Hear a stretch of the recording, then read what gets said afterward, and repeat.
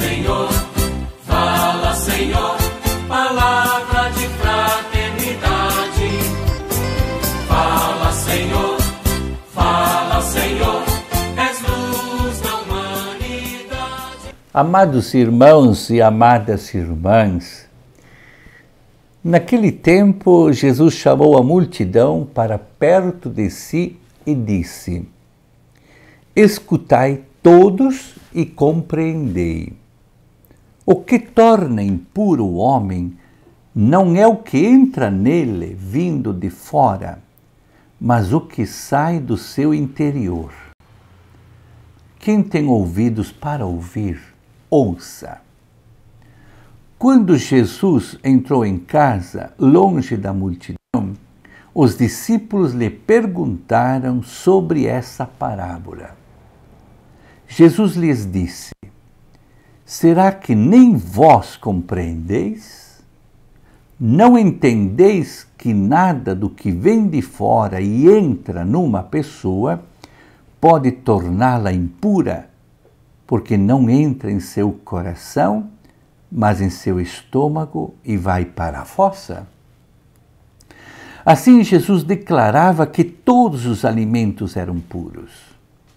Ele disse: o que sai do homem, isso é que torna impuro o homem. Pois é de dentro do coração humano que saem as más intenções, imoralidades, roubos, assassínios, adultérios, ambições desmedidas, maldades, fraudes, devassidão, inveja, calúnia, orgulho, falta de juízo. Todas essas coisas más saem de dentro e são elas que tornam impuro o homem.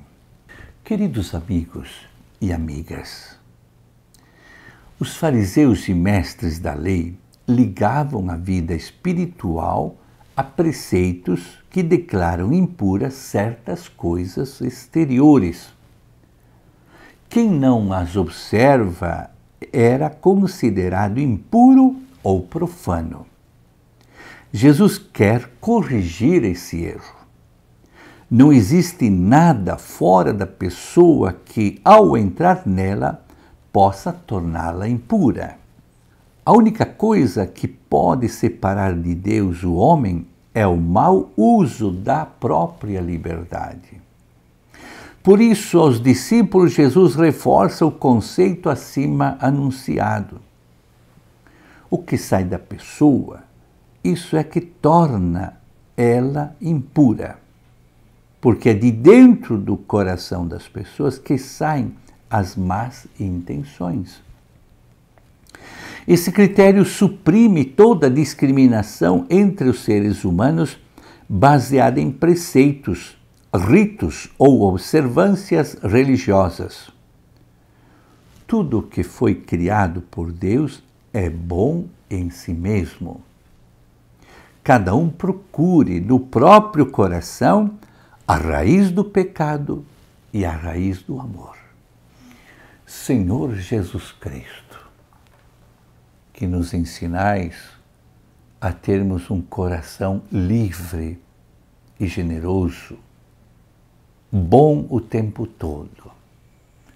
Não permita que este coração se extravie e se corrompa. Amém.